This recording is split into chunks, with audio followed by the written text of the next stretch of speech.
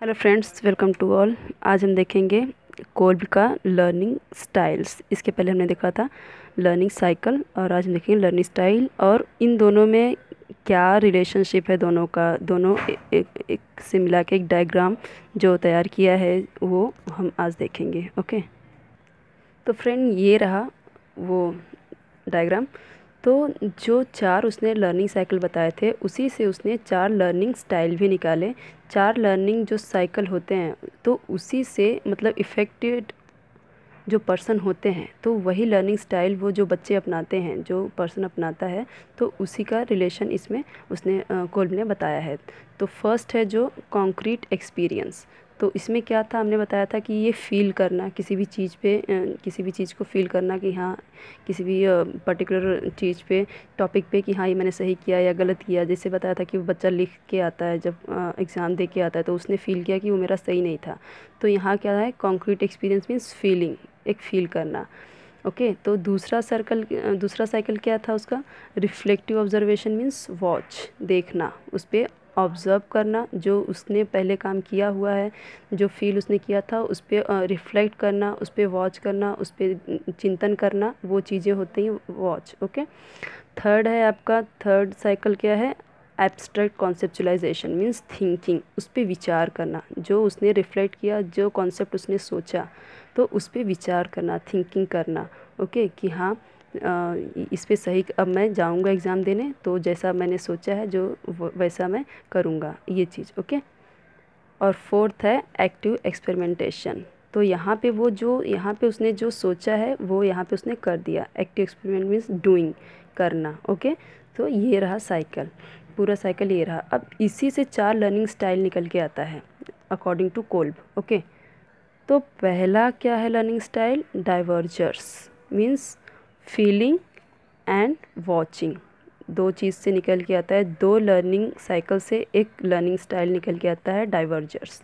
Okay? अभी सिर्फ़ हम ये समझेंगे कि कौन सा इससे निकल के आता है। बाद में हम एक एक करके सबके बारे में अच्छे से पढ़ेंगे कि डाइवर्जर्स मीन्स क्या होता है एसिमिलेटर्स मीन्स क्या होता है, कन्वर्जर्स मीन्स क्या होता है और अकोमोडेटर्स मीन्स क्या होता है। ये हम बुक से अच्छे से डिटेल में पढ़ेंगे ताकि एग्ज़ाम के पॉइंट ऑफ़ व्यू से अच्छे से हम उसे पढ़ सकें। अभी सिर्फ़ पढ़ लेते हैं कि कौन से दो चीज़ों से कौन सा लर्निंग स्टाइल आया है, कौन से लर्निंग साइकिल से ओके तो पहले से इससे कॉन्क्रीट एक्सपीरियंस से और रिफ्लेक्टिव ऑब्जर्वेशन से क्या आया है? Divergers so divergers means feeling and watching feeling concrete experience से और वॉचिंग रिफ्लेक्टिव ऑब्जर्वेशन से ओके नेक्स्ट है एसिमिलेटर एसिमिलेटर मीन्स क्या?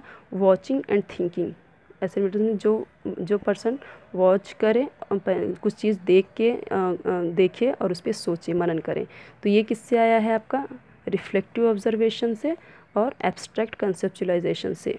तो वॉचिंग और थिंकिंग यहाँ से ओके और नेक्स्ट पॉइंट है आपका एब्स्ट्रैक्ट कॉन्सेप्चुलाइजेशन से और एक्टिव एक्सपेरिमेंटेशन से आया है थर्ड लर्निंग स्टाइल कन्वर्जर्स तो मीन्स डूइंग एंड थिंकिंग यहाँ पे डूइंग इसका और थिंकिंग डूइंग इसका एक्टिव एक्सपेरिमेंटेशन का और थिंकिंग कन्वर्जर्स का ओके और लास्ट में आपका फोर्थ है अकोमोडेटर्स अकोमोडेटर्स किससे आया है? एक्टिव एक्सपेरिमेंटेशन मेंटेशन से डूइंग एंड फीलिंग तो कॉन्क्रीट एक्सपीरियंस से इन दोनों से मिलके आया है आपका डूइंग एंड फीलिंग एक बार आप इसे ध्यान से देख लेंगे तो आपको समझ में आ जाएगा ओके okay? इसके बाद हम एक एक करके इन चारों को पढ़ेंगे। डाइवर्जर्स एसिमुलेटर्स कन्वर्जर्स और अकोमोडेटर्स लर्निंग साइकिल को हम चारों को पढ़ चुके हैं। कॉन्क्रीट एक्सपीरियंस क्या है? रिफ्लेक्टिव ऑब्जर्वेशन क्या है? एब्स्ट्रैक्ट कॉन्सेप्चुलाइजेशन क्या है? इन सबको हम पढ़ चुके हैं। अब हम पढ़ेंगे इसको। आपके लर्निंग स्टाइल को। So let start so first diverging feeling and watching these people are able to look and things from different perspectives तो ये पर्सन कैसे होते हैं? ये लोग कैसे होते हैं बच्चे? कि ये लोग डिफरेंट डिफरेंट मतलब कि अलग अलग दृष्टिकोण से वो देखने में और सोचने में मतलब सक्षम होते हैं एबल होते हैं। दे आर सेंसिटिव वो सेंसिटिव uh, भी होते हैं क्योंकि उनके फीलिंग है फीलिंग है इमोशंस है उनके अंदर तो इसलिए वो सेंसिटिव भी होते हैं। They prefer to watch rather than do tending to gather information and use imagination to solve problems तो ये क्या पसंद करते हैं? सिर्फ़ वॉच करना किसी भी चीज़ को ओके मतलब कि वो किसी चीज़ को, उनका वही काम है। डाइवर्जिंग मीन्स अलग अलग ज़्यादा से ज़्यादा वो सोचना ओके ज़्यादा ज़्यादा सोचने की शक्ति उनमें रहती है। तो वो करने की बजाय देखने में मतलब फील करने में और सोचने में ज़्यादा बिलीव करते हैं, ज़्यादा वो काम करते हैं ओके तो क्या करते हैं, अपनी वॉचिंग स्किल से वो क्या करते हैं कि इन्फॉर्मेशन गैदर करते हैं, इकट्ठा करते हैं और अपनी इमेजिनेशन के थ्रू और प्रॉब्लम को सॉल्व करते हैं। Kolb call this call this style diverging तो कोल ने इसे क्या बोला है? डाइवर्जिंग मीन्स अलग अलग दिशाओं में सोच सकता है, ज़्यादा ज़्यादा सोचने की शक्ति है उसके पास। तो क्या है? डाइवर्जर्स है। Because this this people perform better in better in situation that require idea generations for example brain तो ये लोग कैसे होते हैं कि वो किसी भी सिचुएशन में ज़्यादा से ज़्यादा सोचने की शक्ति रखते हैं। इनमें ब्रेन होती है मतलब सोचने की शक्ति इनकी बहुत ज़्यादा होती है। ओके किसी भी सिचुएशन में वो अच्छी तरीके से सोच के उसका आ, मतलब अपनी सोचने की शक्ति को बढ़ा सकते हैं जनरेट कर सकते हैं।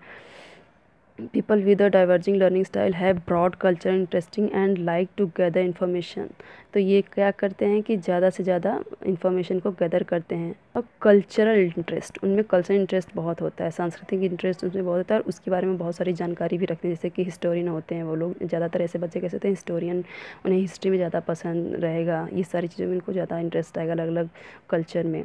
They are interested in people, tend to imaginative and emotional and tend to be strong in the arts. ये आर्ट्स में बहुत स्ट्रॉन्ग होते हैं, इनका आर्ट्स ज़्यादा अच्छा होता है, जैसे कि ये आर्ट्स मीन्स किसी भी फ़ील्ड में पेंटिंग, राइटिंग वो कभी भी बन सकता है, एक राइटर अच्छा बन सकता है, एक पेंटर अच्छा बन सकता है। उसमें उसमें एक आ, मतलब आर्टिस्ट रहता है ऐसे ऐसे लोगों में। क्योंकि इनकी जो सोचने की शक्ति होती है जैसे एक, एक राइटर ही होता है तो उसमें सोचने की शक्ति बहुत होती है। एक पेंटर ही होता है तो उसमें सोचने की शक्ति किसी भी एक सीनरी को देख के बस वो आ, मतलब कि वो अपने तरीके से बिना देखे उसे उतार सकता है कैनवस पर वो सारी चीज़ें ऐसे लोगों में होती हैं। तो ये इस फ़ील्ड में अच्छा परफॉर्म कर सकते हैं। तो ऐसे लोग क्या करते हैं कि ग्रुप में रहकर काम ज़्यादा पसंद करते हैं और अपने पर्सनल फीडबैक को मतलब ओपन माइंड से सुनते हैं और उसे रिसीव करते हैं। ओके नेक्स्ट आता है एसेमिलेटिंग मीन्स किसी भी चीज़ को आत्मसात कर लेना वॉचिंग एंड थिंकिंग देखना किसी चीज़ को और उसके बारे में सोचना. ओके द, ऐसे लोग क्या करते हैं कि मतलब कि किसी भी चीज़ को देख के, उस पर सोचना, उस पर ज़्यादा से ज़्यादा सोचने की शक्ति रखते हैं। उसमें एक अलग कॉन्सेप्ट बनाने की मतलब एक अलग ही उनके अलग अलग मतलब अप्रोचेज़ होते हैं और पर्सपेक्टिव अलग अलग दृष्टिकोण से वो सोच सकते हैं। The assimilating learning preference preferences is for a concise logical approach इनमें क्या होता है? कंसाइज और लॉजिकल अप्रोच होता है, ठीक है? ये लॉजिकली ज़्यादा सोचते हैं। Ideas and concepts are more important than the people तो ये इनके जो आइडियाज़ होते हैं ओके ये ज़्यादा से, इन्हें बहुत ज़्यादा इम्पोर्टेंट लगता है बाकी लोगों से। मतलब कि इन्हें जो आइडियाज़ पसंद आता है, जिस आइडियाज़ में खोए रहते हैं तो वो उन्हें, उनके लिए ज़्यादा इंपॉर्टेंट रहता है rather than people okay these people require good clear explanation rather than practical opportunity तो इनको क्या पसंद होता है कि इन्हें अच्छे से मतलब एकदम क्लियर एक्सप्लेनेशन इन्हें ज़्यादा अच्छा लगता है रेदर देन प्रैक्टिकल अपॉर्चुनिटी इन्हें प्रैक्टिकल करने के बजाय इन्हें थियरीज़ में ज़्यादा मतलब वो ज़्यादा उन्हें अच्छा लगता है। ओके जैसे कि इकोनॉमिस्ट होते हैं मैथमेटिक्स होते हैं, उस टाइप के। They excel at understanding wide ranking information and organizing it a clear logical format तो इनकी जो अंडरस्टैंडिंग होती है, वो काफ़ी वाइड होती है। उन, उनके पास काफ़ी इन्फॉर्मेशन के साथ वो कोई भी काम करते हैं। एंड उनका क्या होता है कि जो उनका, वो एक लॉजिकली उनका जो फॉर्मेट होता है ना, वो क्लियर होता है एकदम। People with an assimilating learning styles are less focused on people in more interested in ideas and abstract concept ऐसे लोग क्या होते हैं? इस तरीके के जो लर्निंग स्टाइल जिनकी होती है, वे कैसे लोग होते हैं कि वो वो लोगों पे कम ध्यान देते हैं, इतना लोगों पे ध्यान नहीं देते भीड़ भाड़ में रहना पसंद नहीं करते। उन्हें क्या पसंद होता है? आइडियाज़ नए नए आइडियाज़ और एब्स्ट्रैक्ट कॉन्सेप्ट्स उन मतलब कि लॉजिकल थिंकिंग वो उनका थिंकिंग वॉचिंग ये है यहाँ पे वॉचिंग एंड थिंकिंग तो ऐसे लोग क्या होते हैं कि ज़्यादा ज़्यादा सोचते हैं और वॉच करते हैं और मतलब एब्स्ट्रैक्ट है, वे अपने ही एक भावनाओं में, एक थिंकिंग में रहते हैं, खोए रहते हैं। People with this style are more attracted to logically sound than approaches based on practical value तो ऐसे लोग क्या करते हैं? लॉजिकली उन्हें ज़्यादा पसंद कर, पसंद आता है, उन्हें ज़्यादा अट्रैक्ट होते हैं लॉजिकली साउंड की तरफ़ और मतलब कि ऐसे लोगों को प्रैक्टिकल उतना काम करना पसंद नहीं होता है जितना कि लॉजिकली थर्ड है converging doing and thinking people with a converging learning style can solve problems and use their learning to find solution to practical uses ये क्या करते हैं? ये कैसे लोग होते हैं? डूइंग एंड थिंकिंग सोचना और करना ओके ये कैसे होते हैं? इनका लर्निंग स्टाइल कैसा होता है? ये मीन्स ये लर्निंग स्टाइल कैसा होता है कि ये जो ये अपने प्रॉब्लम को कैसे सॉल्व करते हैं? मतलब कि ये अपने प्रैक्टिकली मतलब ये प्रैक्टिकली करते हैं और कोई भी अपना प्रॉब्लम, प्रैक्टिकली जो भी रहता है उसे सॉल्व करते हैं प्रैक्टिकल इश्यूज़ से, okay? They prefer technical task and are less concern with people and interpersonal aspects ऐसे लोग टेक्निकल कार्य करते हैं मतलब तकनीकी कार्य करते हैं और लोगों और पारस्परिक लोगों के साथ कम संबंध रखते हैं। बाकी लोगों से मतलब भीड़ भाड़ भी इन्हें भी ज़्यादा पसंद नहीं होती है, okay?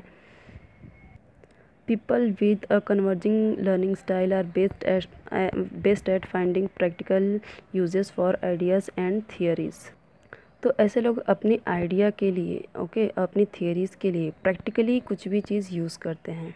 इन्हें बेस्ट तरीका क्या लगता है? प्रैक्टिकली करना।